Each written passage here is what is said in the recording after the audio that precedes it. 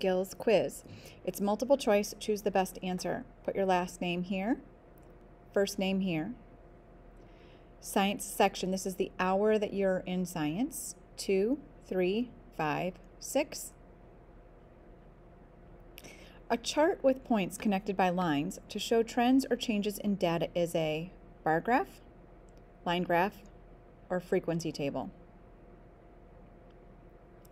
A chart that uses bars to show comparisons of data is a bar graph, line graph, frequency table. A piece of lab equipment, a tall, narrow container with a volume scale used to measure the volume of a liquid, is a graduated cylinder, beaker, triple beam balance.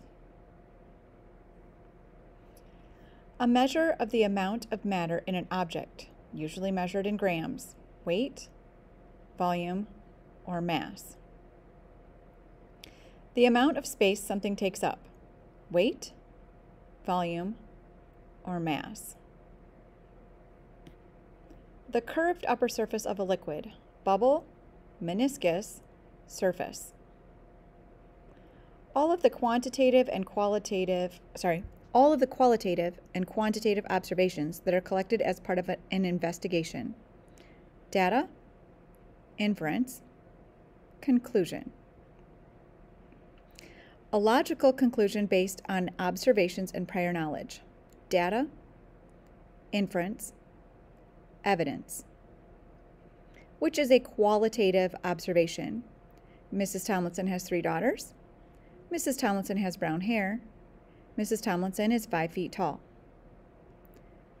Which is a quantitative observation. Mrs. Tomlinson has one dog. Mrs. Tomlinson has brown eyes. Mrs. Tomlinson likes the color blue.